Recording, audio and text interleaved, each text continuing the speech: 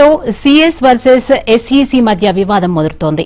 ఈ క్రమంలో model code of conduct పై లేఖ రాశారు. మోడల్ కోడ్ ఆఫ్ కండక్ట్ గ్రామీణ ప్రాంతాలకు మాత్రమే అన్న ఎస్ఈసీ మంత్రులు గ్రామాలకు వెళ్తే ఎన్నికల ప్రచారంగా పరిగణిస్తామని ఎస్ఈసీ తెలిపింది. మంత్రుల గ్రామాల పర్యటనలో ప్రభుత్వ అధికారులు ఉండకూడదన్నారు. ప్రభుత్వ వాహనాలు సదుపాయాలను వినియోగించడం మోడల్ కోడ్ ఆఫ్ కండక్ట్ను అతిక్రమించడమే అని లేఖలో నిమ్మగడ్డ తెలిపారు.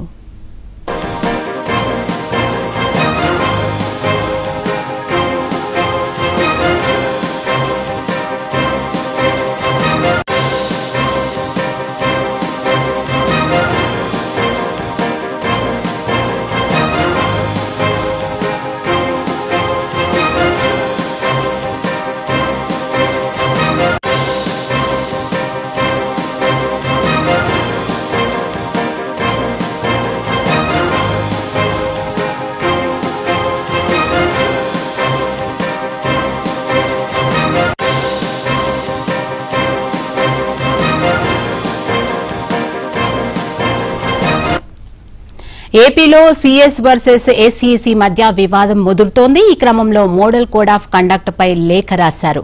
మోడల్ కోడ్ ఆఫ్ కండక్ట్ గ్రామీణ ప్రాంతాలకు మాత్రమే అన్న ఎస్ఈసీ మంత్రులు గ్రామాలకు వెళ్తే ఎన్నికల ప్రచారంగా పరిగణిస్తామని పేర్కొన్నారు. ఇక దీనిపై మరింత సమాచారాన్ని మా ప్రతినిధి కృష్ణ అందజేస్తారు. Krishna over to you thank you Lavanya ఏదైతే model model code of conduct ఉందో ఇది దీని నిబంధనల ప్రకారం ఏపీ సిఎస్కి ఆదిత్యనాథ్కి నిమ్మగడ్డ లేఖ రాయడం జరిగింది. దీనికి సంబంధించి మంత్రులు గాని ఎమ్మెల్యేలు గాని గ్రామీణ ప్రాంతాల్లో పర్యటిస్తే దాన్ని ఎన్నికల ప్రచారం కింద పరిగణిస్తామని చెప్పని ఆయన లేఖ రాయడం జరిగింది. దీంతో పాటు అక్కడ వాళ్ళతో పాటు వెళ్ళేటప్పుడు ప్రభుత్వ అధికారులు ఎవరు కూడా ఆ గ్రామీణ ప్రాంత పర్యటనలో ఉండకూడదనేది నిమ్మగడ్డ లేఖ రాయటం జరిగింది.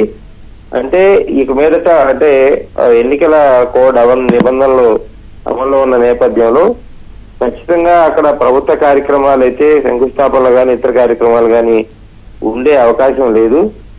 ఒకవేళ ఆ ప్రాంతాలకు వెళ్ళాల్సి వస్తే పట్టణాలకు మాత్రమే అంటే ఏదైతే పంచాయతీలు లేవో పంచాయతీ ఎన్నికలు ఉండవో అటువంటి ప్రాంతాలకు మాత్రమే మంత్రులు వెళ్ళాల్సి ఉంటుంది. ఒకవేళ ఆ గ్రామాలకి మాత్రం వెళితే ఖచ్చితంగా దాన్ని ఎన్నికల ప్రచారం కింద లెక్క వేస్తాం. దానికి కూడా ప్రభుత్వ వాహనాలు వినియోగం అనేది కుదరదు అనేది ఎన్నికల కమిషనర్ రాసినటువంటి లేఖ. దీని మీద మంత్రులు ఏ రకంగా స్పందిస్తారు? ప్రభుత్వం ఏ రకంగా స్పందిస్తుంది?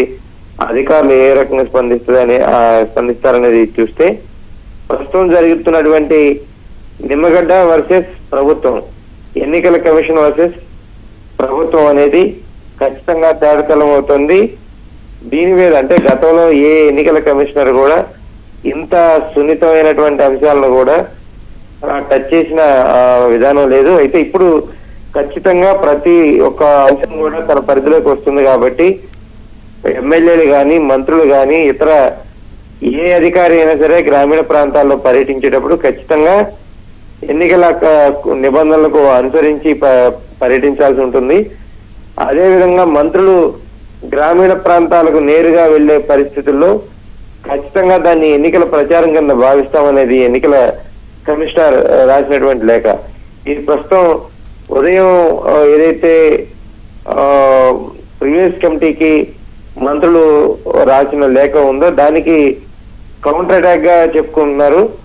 మొత్తంగా ఇటు మంత్రులు అటు ఎన్నికల కమిషనర్ లేఖల మీద లేఖలు రాస్తూ రాష్ట్రంలో ఎన్నికల వేడి తర్వాత సంగతి కానీ వీళ్ళ ఆధిపత్య ఆధిపత్యానికి సంబంధించిన వేడి మాత్రం తీవ్ర స్థాయిలో ఉందనేది తేటతలమవుతోంది.